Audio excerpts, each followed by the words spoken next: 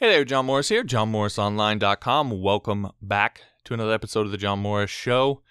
So I got this one from Kirk. He said, So far I've gone through the first two tuto- tutorials in the first module, and I can say it is making it so much clearer to understand. I have spent many mind numbing hours looking for an understanding of this stuff.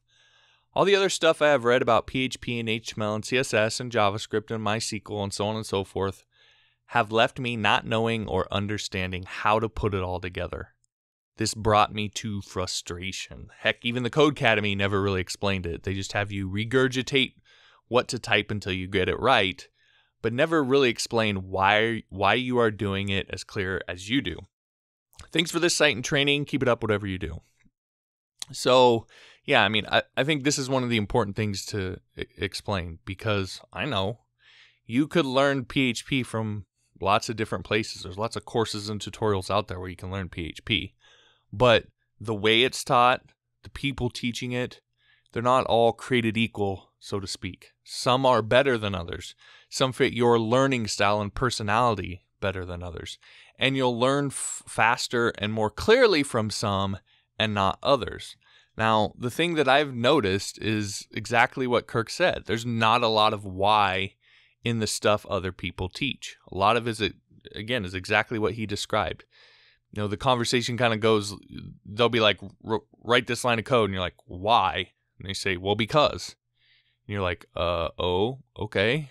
And they're like yeah just write it over and over until you remember it. I mean that's how a lot of this goes. And that can be really frustrating if you're new to coding and you're you're new this is kind of your first language especially but even just being new to a language that kind of thing can be a little frustrating now I happened to spend the last six years that I was in the Army teaching, and I taught all sorts of things from unarmed self defense, escape and evade for downed aviators, convoy ops, and, and just a whole bunch of random stuff.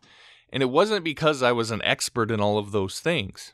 I, I, I never, I wasn't an aviator. I never flown uh, a, a, helicopter before, so I wasn't an expert in that. I took some classes on unarmed self defense, but I, you know, I'm not some MMA fighter or something like that. I actually, when I was in Iraq, never did convoy ops. So it wasn't that I was an expert in each one of these things. It's because the unit that I was in and the job that it was my job to perform was to teach, was to teach doctrine. And so I was taught by, you know, I think the largest or one of the largest organizations in the world in a situation where you're teaching people something that is really to save their lives.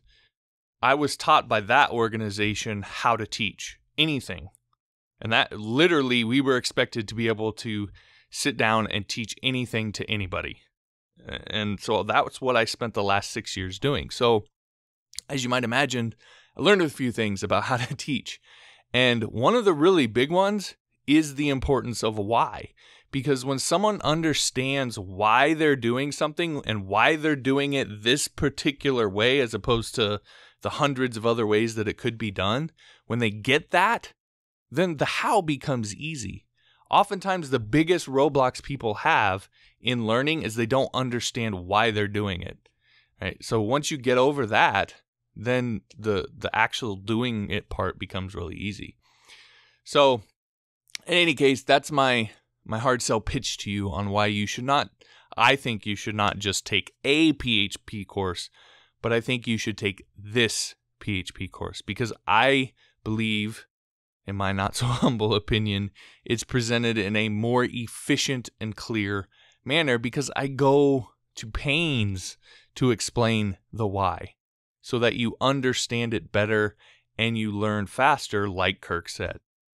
So, there you go. If you're ready to do this, now's as good a time as any because I'm running a 37% off sale at the moment. So, you can get the course for 37% off the regular price until Friday, January 14th at 11:59 p.m. Pacific Standard Time. So, if you're in, the link is johnmorrisonline.com slash special.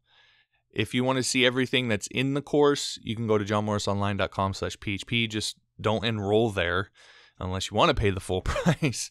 Once you've decided to join, again, just go to johnmorrisonline.com slash special for the discount. And again, that ends January 14th at 11:59 p.m. Pacific Standard Time. All right, that'll do it for this episode. Again, thanks for watching. Be sure to hit that thumbs up button. If you haven't, be sure to subscribe, and we'll talk to you next time.